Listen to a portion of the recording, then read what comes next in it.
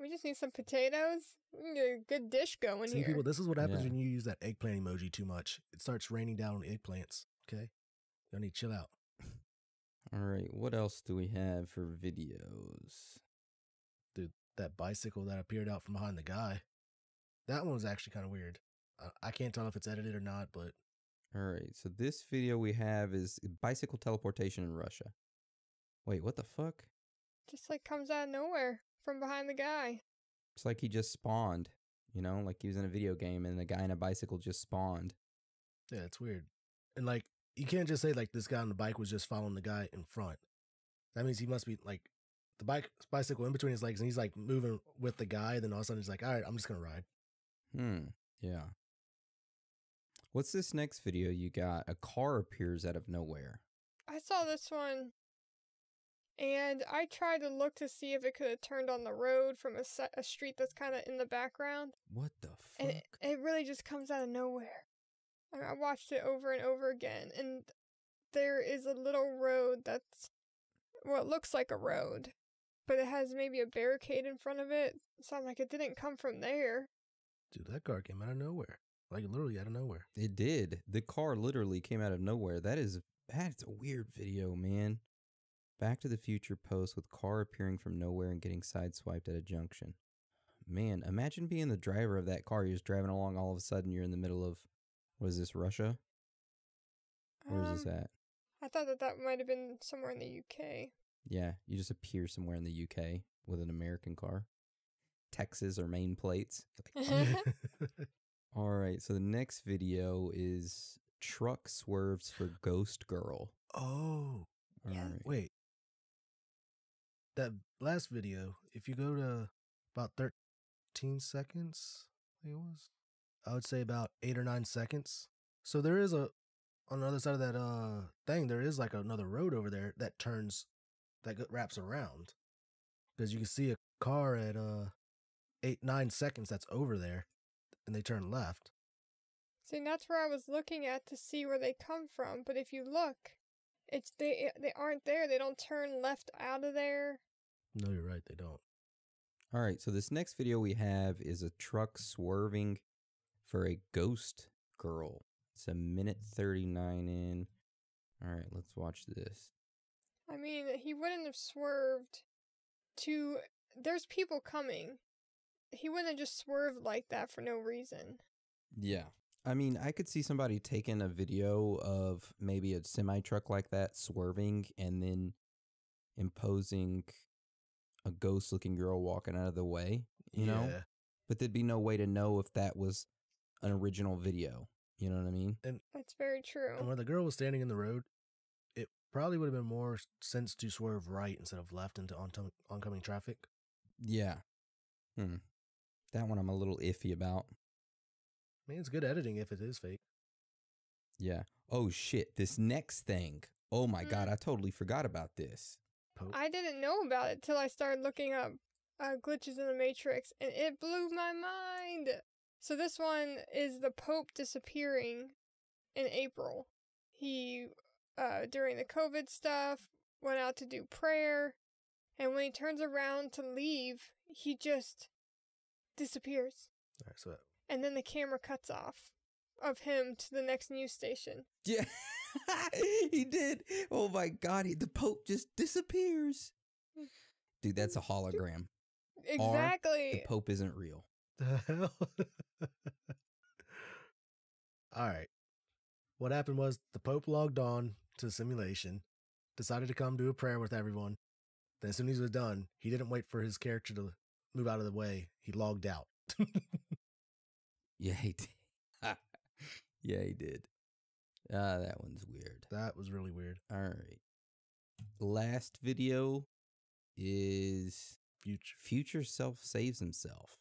Yeah, that one's really cool. So I actually a while back came across this video in a compilation of videos like this, but I couldn't find it. So fast forward to four minutes and fifty three seconds.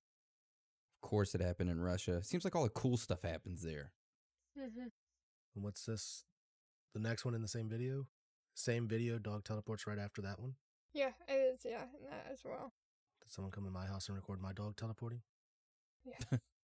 but yeah, the dog just like pops. The car speeds by, and then the dog just pops out from the middle of the street. See, that's the same as like the woman, you know, appearing. That's very that's a very similar technique that I'm sure you give me a couple hours and I could do that in Adobe uh, Premiere Pro. Yeah. It is true. I don't know the original source of this, but you know, we're working with what we got. All I say is, uh, what I say, if it's real, if that was real, lucky dog right there. Yeah. Oh yeah, for sure. All right. So those are some pretty interesting videos. Does anybody else have any videos or stories they want to share with us before we go into theories about what this could be? Hmm. think I'm all my stories. Nothing that pops back into mind. Yeah, same with me. So I guess we move into theories and uh, what these glitches could be. So the first theory we're going to go over is called tuning fork phenomenon. Phenomenon. The spirit. Dun, dun, dun. So, this sp- Spiritual Research Foundation believes that 50% of all deja vu cases are caused by the tuning fork phenomenon. And what is this phenomenon? Well, the theory goes that everything in the universe radiates frequencies that produce an aura. In the case of humans, these frequencies are a combination of our gross, mental, intellectual, and subtle ego bodies. Usually, these frequencies are uniquely tuned to each person, but occasionally, two or more frequencies can sync up, resulting in deja vu as the experience and emotions of multiple people become momentarily entangled. Basically, we are feeling the emotions of others who live at the same frequency, and this causes the feeling of deja vu. Interesting. Okay. So, we, deja vu isn't necessarily us, or maybe it could be us, but just from another, another version of us in the mul- a different universe. And we tap into that frequency in that moment and we share that experience. You know, I have a very uh, interesting quote from Nikola Tesla. And uh, it is If you want to find the secrets of the universe, think in terms of energy, frequency, and vibration.